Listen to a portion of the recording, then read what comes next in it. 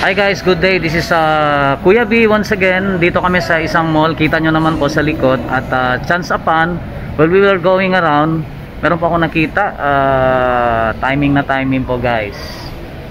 Dito tayo sa may Sambuanga City, of course, sa SM Minpro. Shembra Sambuanga Horticultural Festival 2021 kung saan po uh, ito ay uh, isang exhibit po yung nagaganap dito sa mga sandaling ito good guys kay, kasi konti lang yung tao. So ikutan natin guys pakita ko sa inyo uh, kung ano po yung mga nandito na halaman at malalaman po natin yung mga price. So guys behold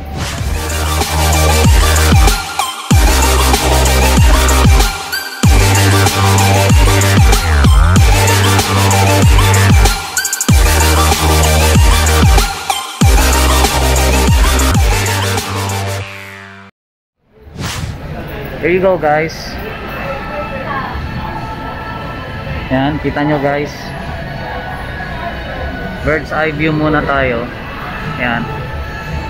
So this is what you will see. And guys. Isa-isayin natin ngayon guys ha. Okay. Tari lang guys. Okay guys, uh, let's start from here. Ito po ay Philodendron domesticum variegatum. Yan guys, that is 40,000. Tingnan nyo naman guys, sobrang ganda. Variegated na yellow, yellowish, may whitish guys. Okay, so next in my uh, in line is uh, this one. Ito medyo kayang-kaya nyo guys. Bigonia Masonia Masoniana River. Ang ganda guys ng bigonya. Napakalusog guys, tingnan siya. And then parang uh, it appears na para siyang lumot kumbaga guys. Kumbaga guys, parang nasa loob ng aquarium. So pwede siguro to guys, sila pa ipasok niyo sa loob ng aquarium. Yan, ganda guys oh. Ganda. And then uh, ito naman guys is another uh, begonia opposite to this one and the price is 6,000 this is begonia looking glass. Here we go. Look at it. Wow. Napakaganda guys. Tingnan nyo guys. Yeah, that's it. Yeah. and then guys watch out guys. Pakita ko sa inyo guys. Presyo muna guys. Alright That is Philodendron variegated bilitei. Yan. 200,000 po para sa inyo. Halos magkapareha sila ng Philodendron domesticum. Almost. But uh, this one, let's compare guys. Yan. Ito. Pero napakalayo guys ng price. Because this is I think the most expensive among all these uh, displayed here. Among all these plants that are displayed. These are all rare guys. So hindi nyo makikita siya basta basta that's why this one is exhibit. So over there is pag makita nyo guys that's philodendron pastazanum that's 25,000 guys. Kakaiba din ang itsura nya yan. That's it. So ako rin guys uh, ngayon ko lang nakita to. At uh, I'm very lucky guys na nakita ko nga to. So I can see with my bare eyes guys yung mga itsura ng mga ito na nakikita ko lang sa internet. This one is variegated Humalomena and this is 45,000 guys. Kung titingnan mo siya para siyang nalalanta na na namamatay na. But actually guys ito talaga yung arrive niya. Yan. So variegated yellowish whitish and then uh, on my knee guys hindi ko nang tamaan. Buti na lang merong uh, ribbon dito. Iisa-isa lang yung dahon nito guys. Look at this. Anthurium luxurians. Guys that's 45,000 pesos. Wow. This guys tingnan nyo. That's it guys. Okay moving on uh, dito tayo guys hindi ko lang alam kung ano to but this one so guys yun na Okay. This one is a super atom. Okay. This is 11K. Another philodendron na variety.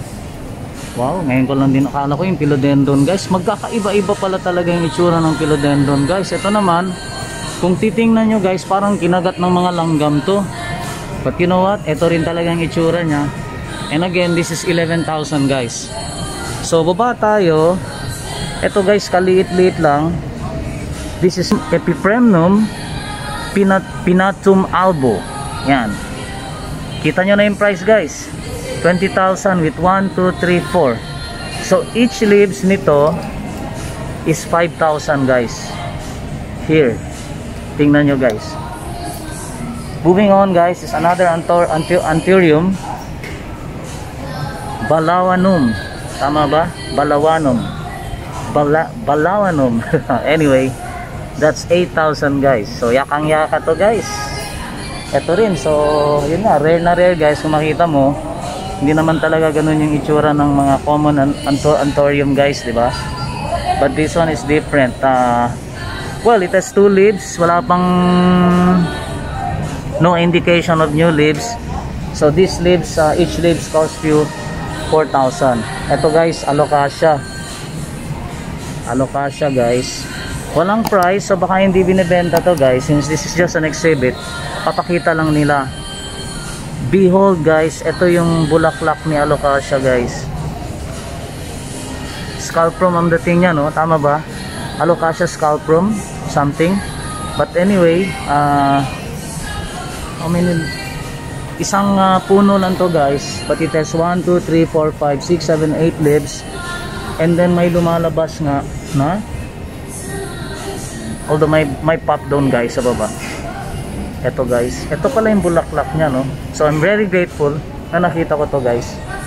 And then uh, here we go. Another philodendron uh, variety. They call it Bob C. Eto guys. This one this is philodendron Bob C look at it.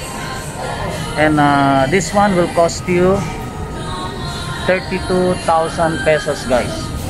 This one. Okay.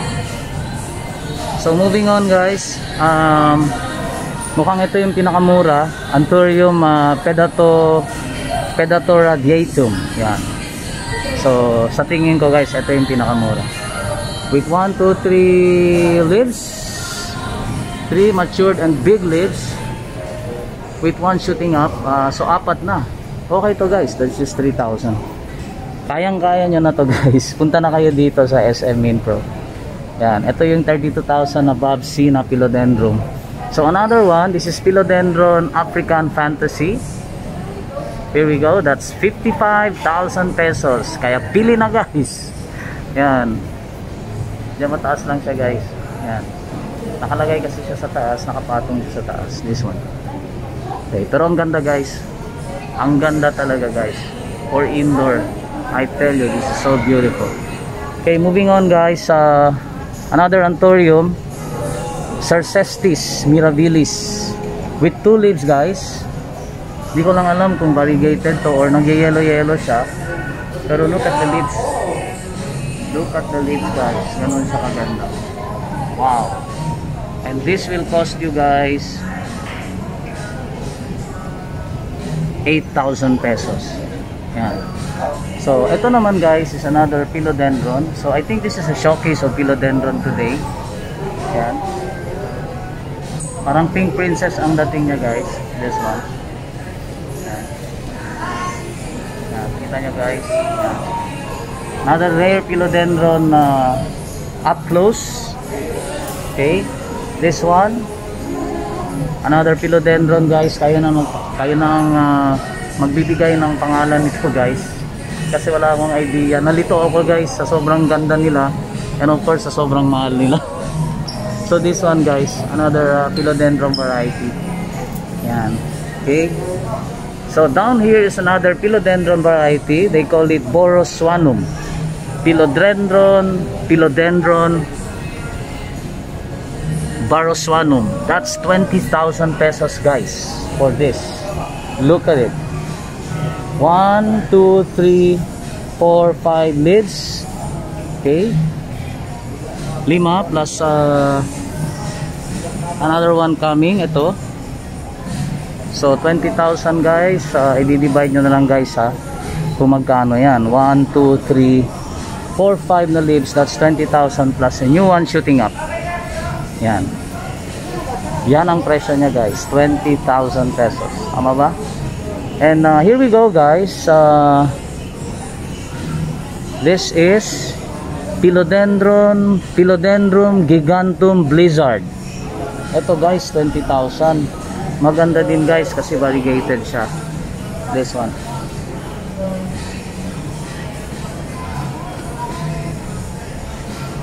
That's it. So that's Philodendron gigantum blizzard. Look at the leaves. Variegated guys. Looks like yellow. Napakalusog niya. It has 1, 2, 3 4, 5, 6, 7, 8 9 and 10 leaves. So let's divide 20,000 divided by 10 leaves. This is 2,000 per leaves. Tama ba guys? 2, 4, 6, 8, 10, 12, 14, 16 tama 1, 2, 3 4, 5, 6, 7, 8, 9, 10 tama guys. That's 2,000 per leaves yan. Pero ang gaganda guys ito ako guys if you ask me personally I'll really go for this. Sobrang ganda niya. And then hindi ka nalugi kasi nga malalaki na rin siya. So ito guys meron pang maliit dito. Ewan ko kung this is the same as uh, the other one that I uh, saw earlier. Oops ito naman guys. Malulula kayo guys. This is Antorium regale. Just one leaves will cost you 45,000 pesos guys. So exactly the same with Anthurium luxurians so kung papasok kayo dito makikita nyo yung dalawang leaves na to. The same Anthurium guys. Uh, dalawang 45 if you get this and you will also get that other leaves on right there that's 90,000 guys So tingin ko guys parang kailangan nyo ng security guard dito pag bibili nyo lahat to. Yan so I think this is another philodendron uh, variety. Kaya na magpapangalan nito guys. Please name this. Kaya na mag-ID nito.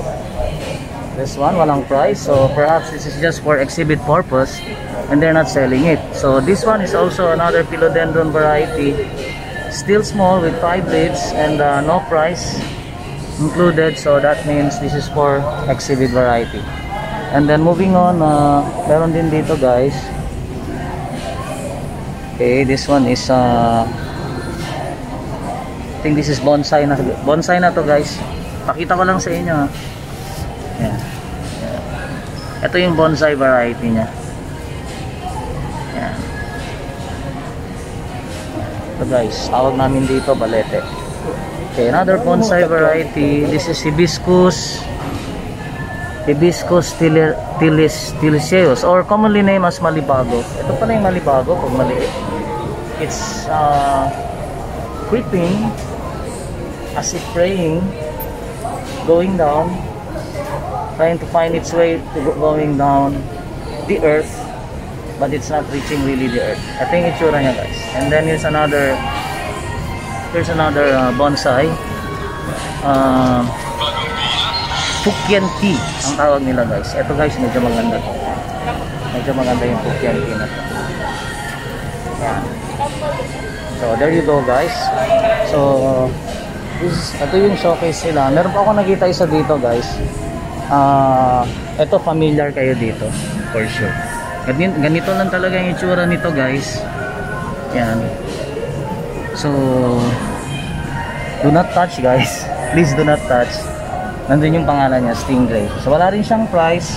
So we presume na hindi siya binebenta I saw another philodendron right here if I'm allowed. Kuya okay lang? Pasok ako kuya.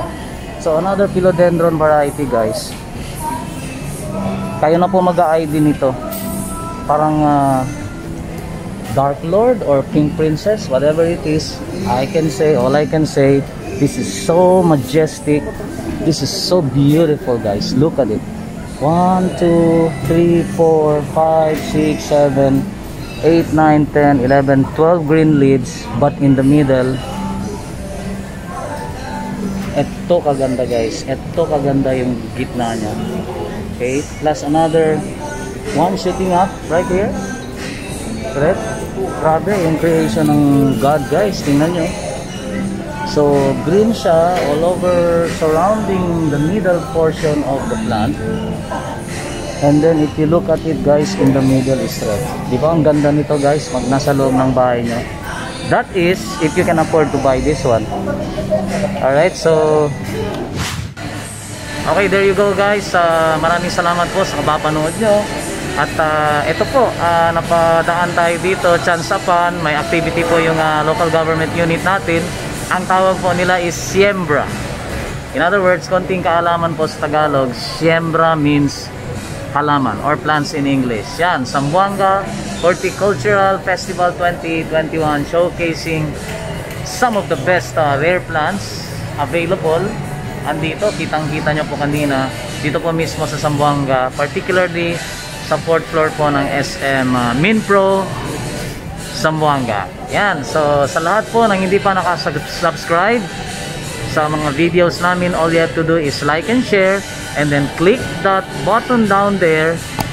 Tingnan nyo po yung notification bell and click it and click all. Ganun po kasimple para ma-update po kayo at ma-notify sa mga susunod na videos namin this has been again Kuya B para sa kwentong halaman bye